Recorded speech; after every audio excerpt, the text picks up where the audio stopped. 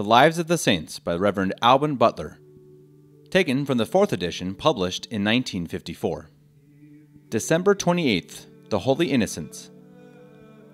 Our divine Redeemer was persecuted by the world as soon as he made his appearance in it, for he was no sooner born than it declared war against him. Herod, in persecuting Christ, was an emblem of Satan and of the world. That ambitious and jealous prince had already sacrificed to his fears and suspicions the most illustrious part of his council, his virtuous wife Mariamne, with her mother Alexandra, the two sons he had by her, and the heirs to his crown, and all his best friends. Hearing from the Magians, who were come from distant countries to find and adore Christ, that the Messiah, or spiritual King of the Jews, foretold by the prophets, was born among them, he trembled lest he was come to take his temporal kingdom from him.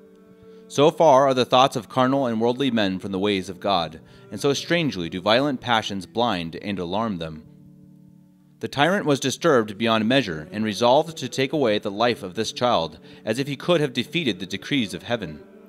He had recourse to his usual arts of policy and dissimulation, and hoped to receive intelligence of the child by feigning a desire himself to adore him.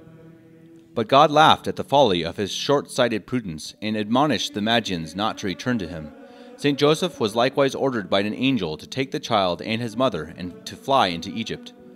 Is our blessed Redeemer, the Lord of the universe, to be banished as soon as born? What did not he suffer? What did not his pious parents suffer on his account in so tedious and long a journey, enduring a long abode in Egypt, where they were entirely strangers and destitute of all succor under the hardships of extreme poverty? It is an ancient tradition of the Greeks, mentioned by Sozomen, St. Athanasius, and others, that at his entrance into Egypt all the idols of that kingdom fell to the ground, which literally verified the prediction of the prophet Isaiah. Mary and Joseph were not informed by the angel how long their exile should be continued, by which we are taught to leave all to divine providence, acquiescing with confidence and simplicity in the adorable and ever holy will of Him who disposes all things in infinite goodness, sanctity, and wisdom. Herod, finding that he had been deluded by the Magians, was transported with rage and anxious fears. To execute his scheme of killing the Messiah, the desired of all nations, and the expectation of Israel, he formed the bloody resolution of murdering all the male children in Bethlehem and the neighboring territory, which were not above two years of age. Soldiers were forthwith sent to execute these cruel orders, who, on a sudden, surrounded the town of Bethlehem and massacred all the male children in that and the adjacent towns and villages which had been born in the last two years. This more than brutish barbarity, which would almost have surpassed belief had not Herod been the contriver and ambition of the incentive, was accompanied with such shrieks of mothers and children that St. Matthew applies to it a prophecy of Jeremiah, which may be understood in part to relate more immediately to the Babylonian captivity, but which certainly received the most eminent completion at this time. A voice in Ramah was heard, lamentation and great mourning, Rachel bewailing her children, and would not be comforted because they are not. Ramah is a village not far from this town, and the sepulchre of Rachel was in a field belonging to it. The slaughter also was probably extended into the neighboring tribe of Benjamin, which descended from Rachel. The Ethiopians in their liturgy and the Greeks in their calendar count 14,000 children massacred on this occasion, but that number exceeds all bounds, nor is it confirmed by any authority of weight. Innocent victims became the spotless Lamb of God, and how great a happiness was such a death to these glorious martyrs! They deserved to die for Christ, though they were not yet able to know or invoke his name. They were the flowers and the first fruits of his martyrs, and triumphed over the world without having ever known it or experienced its dangers. They just received the benefit of life to make a sacrifice of it to God and to purchase by it eternal life. How few, perhaps, of these children, if they had lived, would have es- escaped the dangers of the world, which, by its maxims and example, bear everything down before it like an impetuous torrent. What snares, what sins, what miseries were they preserved from by this grace? With what songs of praise and love do they not to all eternity thank their Savior, and this his infinite mercy to them? Their ignorant, foolish mothers did not know this, and therefore they wept without comfort. So we often lament as misfortunes many accidents, which in the designs of heaven are the greatest mercies. In Herod, we see how blind and how cruel ambition is, which is ready to sacrifice everything, even Jesus Christ, to its views. The tyrant lived not many days longer to enjoy the kingdom which he feared so much to lose.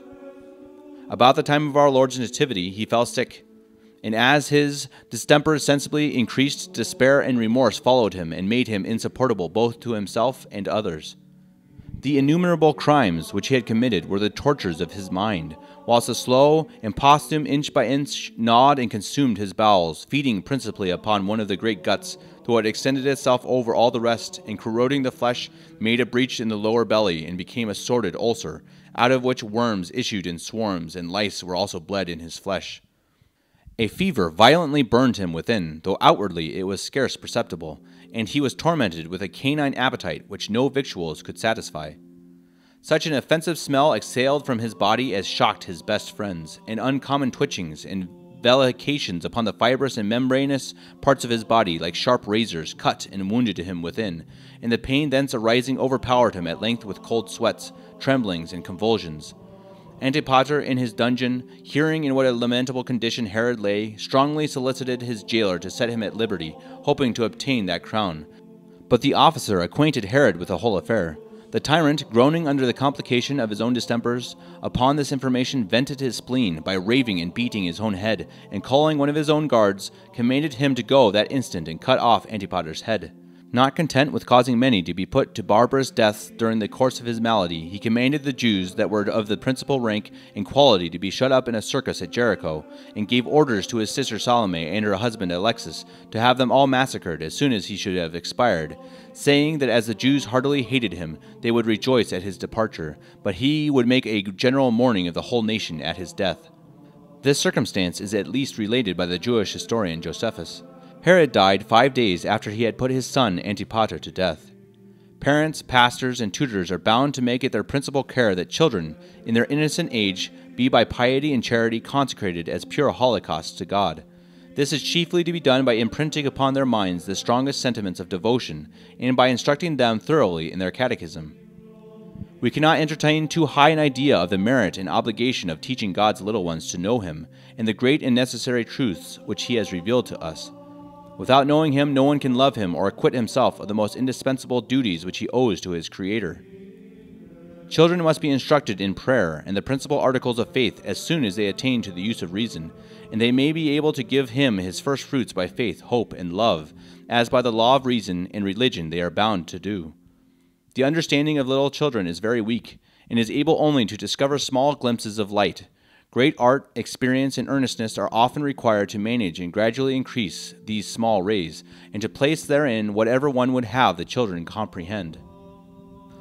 The solicitude and diligence of parents and pastors to instruct others in this sacred science ought not to lessen, neither must anyone regard the function as mean or contemptible. It is the very foundation of the Christian religion. Hence, Pope Paul III, in a bull in which he recommends this employment, declares that nothing is more fruitful or more profitable for the salvation of souls. No pastoral function is more indispensable, none more beneficial, and generally none more meritorious, we may add, or more sublime. For under a meaner exterior appearance, without pomp, ostentation, or show of learning or abilities, it joins the exercise of humility with the most zealous and most profitable function of the pastoral charge. Being painful and laborious, it is moreover an exercise of patience and penance. Neither can anyone think it beneath his parts or dignity. The great St. Austin, St. Chrysostom, St. Cyril, and other most learned doctors, popes, and bishops applied themselves with singular zeal and assiduity to this duty of catechizing children and all ignorant persons.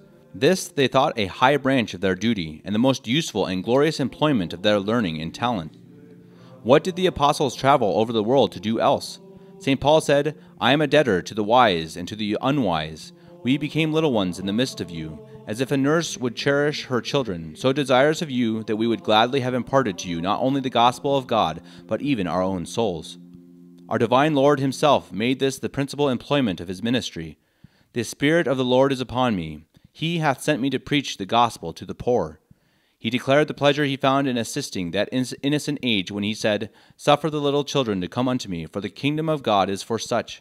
And embracing them and laying his hands upon them, he blessed them.